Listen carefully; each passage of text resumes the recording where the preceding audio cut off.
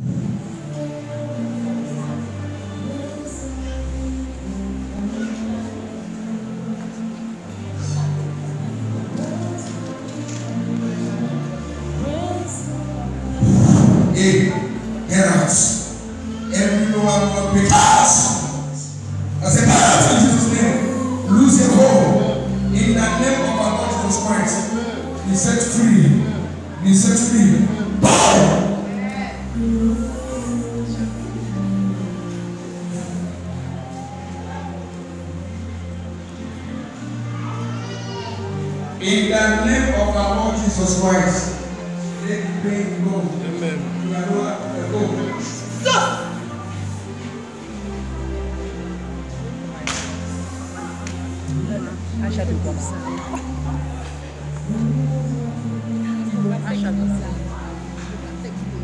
Jesus sets you free.